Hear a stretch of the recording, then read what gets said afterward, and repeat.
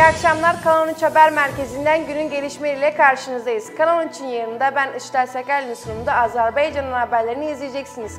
Haberlerin daha çok insan ulaşması için beğeni butonuna basmayı ve abone olmayı unutmayın.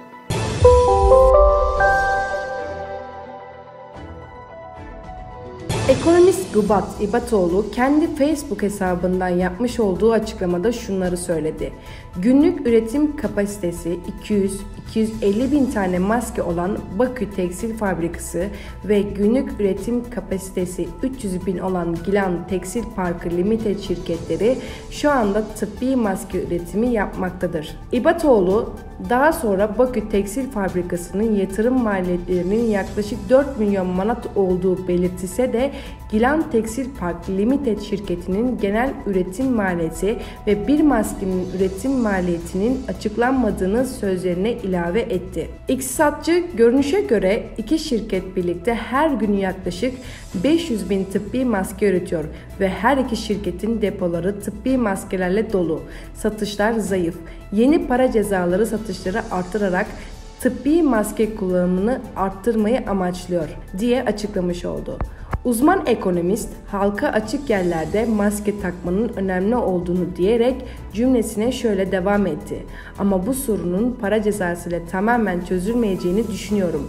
En iyi yolun maskeleri ücretsiz dağıtmak ve daha sonra para cezasının verilebileceğini ve neden maske takmıyorsun sorusunun gerekli olduğunu düşünüyorum ifadelerini belirtti. Kültür Bakanlığı Rusya halk sanatçısına yasa dışı ödeme yapmış.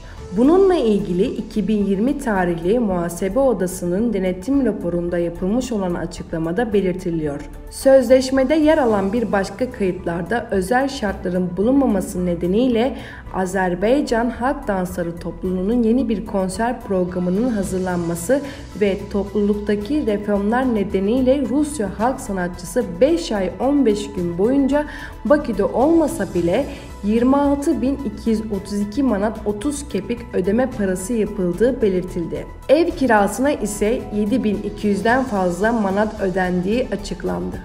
Rusya Federasyonu'ndaki 225 Azerbaycan vatandaşı daha ülkeye getiriliyor.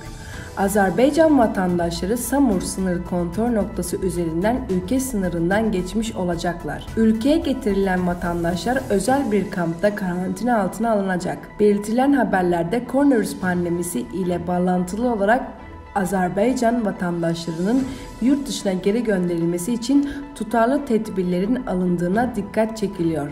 En son 23 Haziran'da 250 Azerbaycan vatandaşının Rusya'dan Azerbaycan'a getirildiği belirtiliyor.